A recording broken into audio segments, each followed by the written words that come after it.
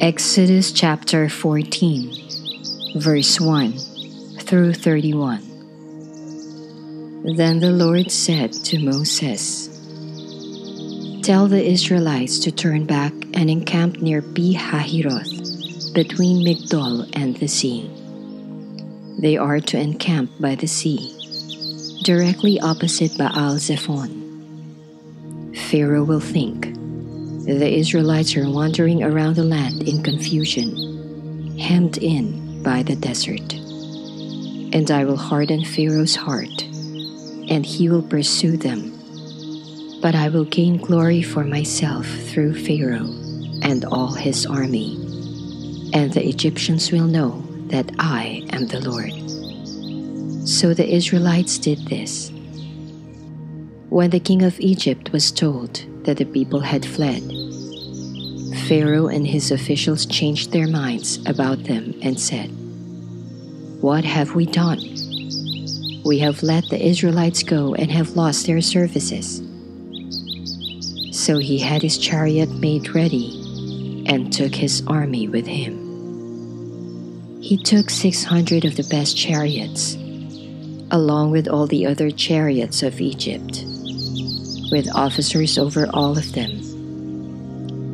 The Lord hardened the heart of Pharaoh, king of Egypt, so that he pursued the Israelites who were marching out boldly. The Egyptians all Pharaoh's horses and chariots, horsemen, and troops pursued the Israelites and overtook them as they camped by the sea near Hahiroth, opposite Baal Zephon. As Pharaoh approached, the Israelites looked up, and there were the Egyptians marching after them. They were terrified and cried out to the Lord. They said to Moses, Was it because there were no graves in Egypt that you brought us to the desert to die? What have you done to us by bringing us out of Egypt? Didn't we say to you in Egypt, Leave us alone? Let us serve the Egyptians. It would have been better for us to serve the Egyptians than to die in the desert. Moses answered the people. Do not be afraid. Stand firm, and you will see the deliverance the Lord will bring you today. The Egyptians you see today, you will never see again. The Lord will fight for you. You need only to be still. Then the Lord said to Moses, Why are you crying out to me? Tell the Israelites to move on. Raise your staff and stretch out your hand over the sea to divide the waters so that the Israelites can go through the sea on dry ground. I will harden the hearts of the Egyptians so that they will go in after them. And I will gain glory through Pharaoh and all his army, through his chariots and his horsemen the Egyptians will know that I am the Lord when I gain glory through Pharaoh, his chariots, and his horsemen.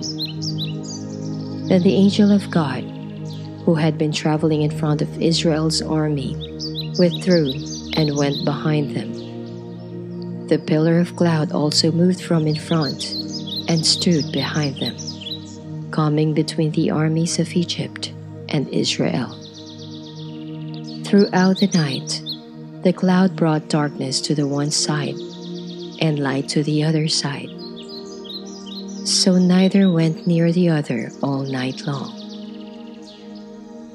Then Moses stretched out his hand over the sea, and all that night the Lord drove the sea back with a strong east wind and turned it into dry land.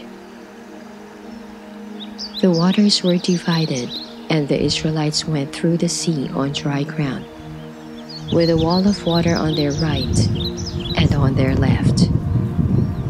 The Egyptians pursued them, and all Pharaoh's horses and chariots and horsemen followed them into the sea.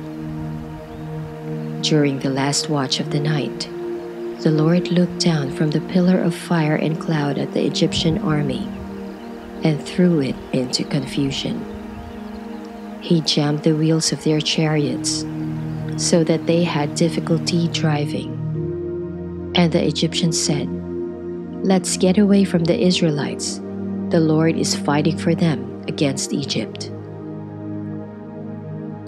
Then the Lord said to Moses, Stretch out your hand over the sea, so that the waters may flow back over the Egyptians and their chariots and horsemen. Moses stretched out his hand over the sea, and at daybreak the sea went back to its place. The Egyptians were fleeing toward it, and the Lord swept them into the sea. The water flowed back and covered the chariots and horsemen. The entire army of Pharaoh that had followed the Israelites into the sea. Not one of them survived. But the Israelites went through the sea on dry ground, with a wall of water on their right and on their left. That day, the Lord saved Israel from the hands of the Egyptians. And Israel saw the Egyptians lying dead on the shore.